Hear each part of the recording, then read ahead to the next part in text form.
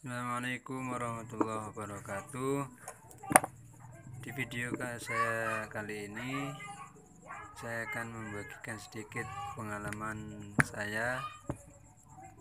Malam ini saya akan melakukan penggerindaan tapi ternyata gerinda saya masih baru kok udah keluar api saya utek-utek saya utek-utek ternyata masalahnya kok oh simpel amat.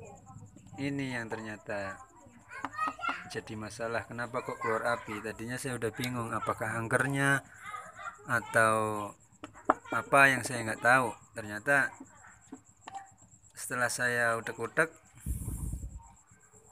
ternyata ini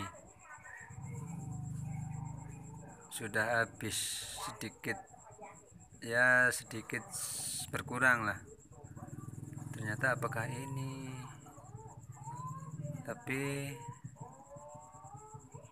kok saya juga yang nggak mudeng sih ya. Tapi pas kebetulan ini saya utek-utek ternyata ini saya pasang. Nah seperti ini. Namun nah di sini ini yang menjadi sesuatu yang mudahnya. Kita tinggal menyetel skrupnya atau e, penutupnya ini untuk sedikit ditambah kencang yang tadinya itu kendor. Nah namun nah seperti ini. Nah kita tes di sini. Kita pencet-pencet masih empuk atau agak sedikit keras. Kalau sedikit agak keras itu mudah-mudahan akan berhasil. Sudah nggak keluar lagi percikan apinya. Tapi kalau masih empuk banget bisa dikencengin sedikit lagi. Tapi jangan kenceng-kenceng banget ya. Soalnya nanti kalau kenceng-kenceng banget takutnya malah berat. Nah berat muternya. Nah kita kira-kira aja. Nah kita pencet-pencet. Nah, kalau masih kekencengan kita kendorin sedikit pencet lagi.